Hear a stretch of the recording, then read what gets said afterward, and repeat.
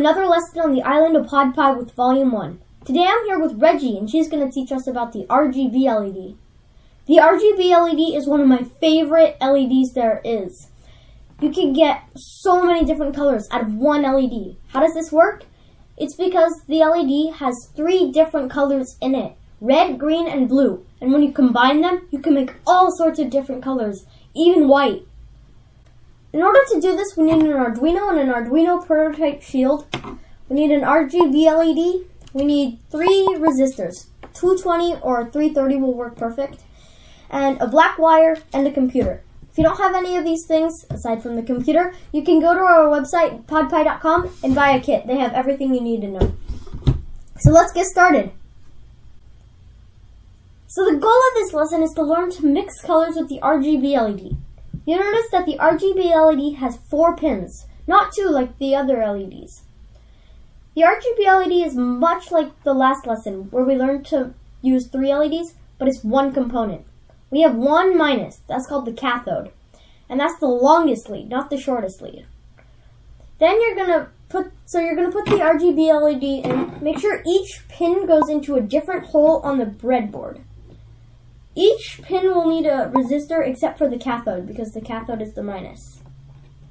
So once you put that in, you're going to take your resistors and you're going to attach them to the three shortest. So you remember which ones are the shortest. You put your your your um RGB in and then you're going to put your resistors into the shortest. So one would go right here.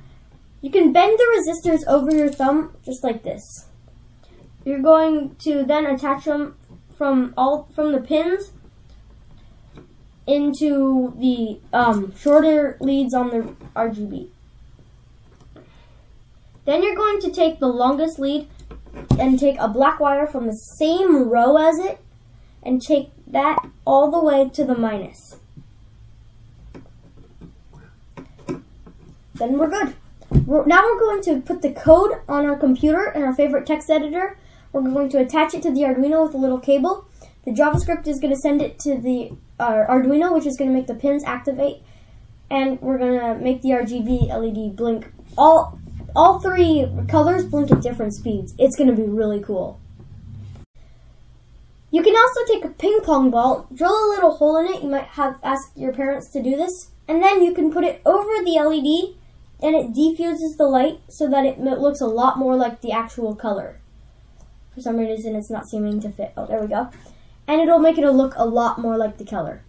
You can also try and figure out how many colors, how many different colors you can make by blinking them all at different speeds, and it's really, really fun. Try attaching them to different pins too once you've got it down. But remember, whatever you do to the Arduino, you got you have to do it to the code too. And on the Arduino, the pins start with zero. Good luck. If you have any questions or problems, you can go to our website, podpi.com, and click on the the um, button. It starts with an S. I don't remember what it's called. Uh, you can click on the support button, and you can tell us about your question or problem, and I'll make sure to answer it as soon as I can. Good luck.